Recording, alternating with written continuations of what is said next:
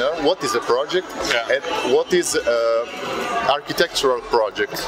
Yeah, I think the um, to begin with, it was a, a architect's vision, which is a fantastic. I mean, it's it's fantastic to make use of the roof of a industrial building. So I worked together with Big and, and, and sort of were involved in helping them maybe change, add some things, make it more um, feasible for the people that would use it.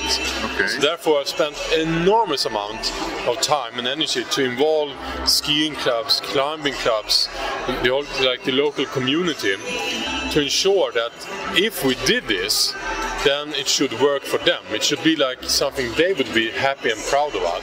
Okay. O- Obviously, obviously, when you, if you come the first time, you heard about Bjarke Ingels. I mean, he's a genius, right? But if you go there and you have a bad experience, then you won't come again. And then that's sort of the difference between a visionary idea and a, and a great idea, right? It, it works also for the users.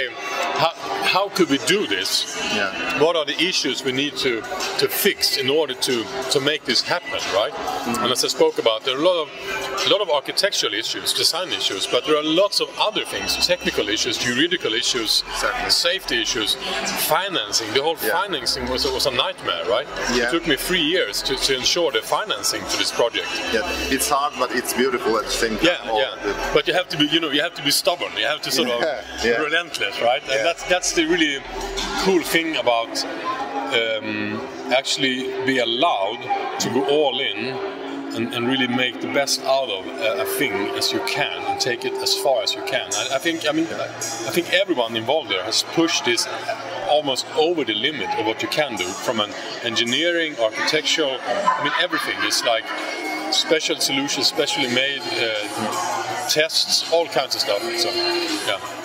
I'm not an architect, but I have lots of friends who's architects, and I mean, the building is also beautiful.